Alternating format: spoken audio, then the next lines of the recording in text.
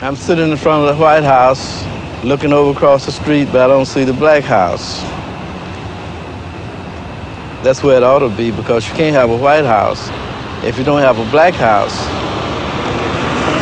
In fact, you can't have anything unless you have a comparison. You can't have a good government unless you got an evil government.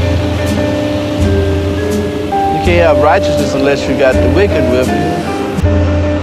Have anything without this parallel and this opposite.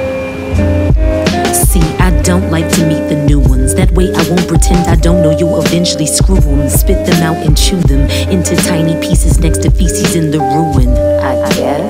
It's crazy how the undercooked and overseasoned always have a reason or excuse as to why the chicken on their menu kinda tastes like goose. Duck, duck, run. Even seen a duck fly right out of my city when I looked him in the eye. Cause to be with you, my sweetest taboo was a lie. Said Eshu repeatedly at that map, but I defy. And the life we made was denied its right to thrive in this nest. Looking for closure in your touch, and I got emptiness. Trying to fit between the cards and heartbeat through your chest. Used to hug and kiss me like a brother knew that he was blessed. As if we never loved each other. I guess. Roll into the city, shoot me a text. But first you reach out to the boys, direct. As if we never loved each other. I guess. Roll into my crib and I can feel your stress. Smiling while you wrestle with the boys and make a mess.